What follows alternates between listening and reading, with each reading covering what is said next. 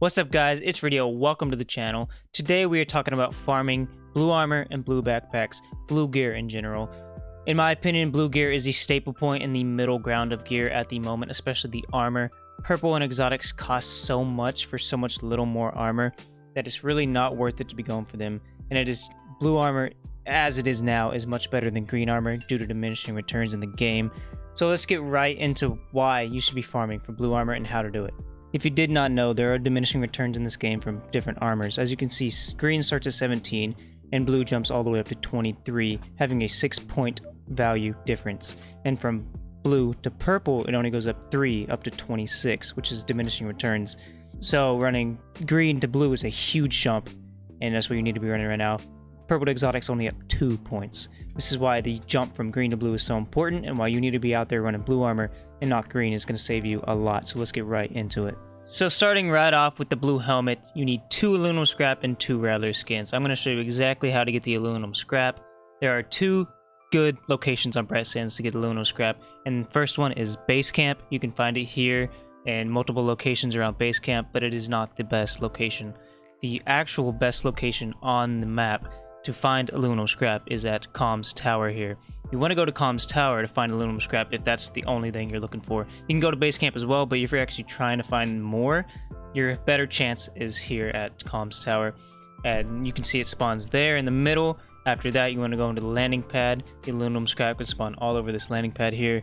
And then after that, you want to check inside these cargo containers. There's four of them in total, and each, all four of them can spawn the aluminum scrap you happen to have the server access key, aluminum scrap and spawn in lockers, so don't forget to check those for lockers and any lockers around the map.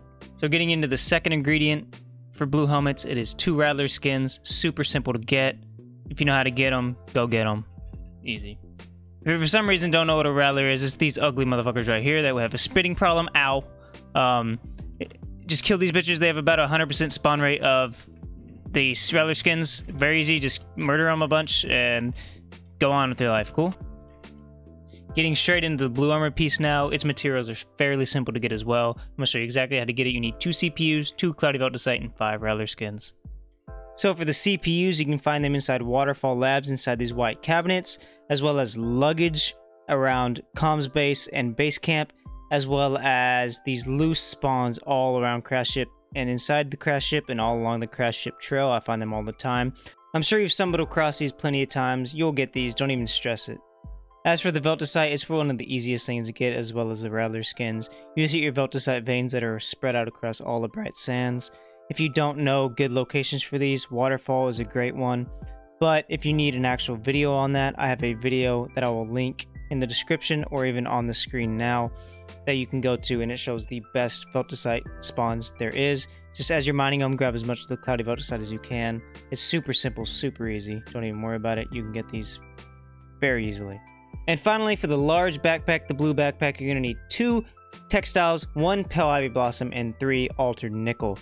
Getting started with textiles, you can find them all around the map inside lockers, but my absolute favorite place and the best place that I find them all the time is of course at Jungle Camp. Jungle Camp has some of the best spawns for everything. You can find them at loose spawns, as you see all there. You can find them inside that place, as well as inside the lockers. There are three lockers total inside Jungle Camp that can spawn, but there are multiple, multiple loose spawns all on the ground that you can find these textiles at. If you need textiles, go to Jungle Camp. You will get them without a doubt. As for Pale Ivy Blossom, it's super simple to get once you figure out the spawns. Literally all throughout jungle, the entirety of jungle, these things spawn all in this green grass, this green leaves that you see. They will spawn all on these trees that you see randomly throughout all of jungle. So if you're doing a jungle run or just running through jungle, just keep an eye out for these Ivy Blossoms. They will be everywhere. But if you need a specific location to find these at, then of course I'm going to tell you Jungle Camp. It can spawn on the buildings all along these leaves. I usually find two to three here when I come here for my runs. I just pick them up because they're literally one pound. They're not heavy at all. As you can see here, they're on this tree as well. Just be checking these green leaves when you're in the jungle.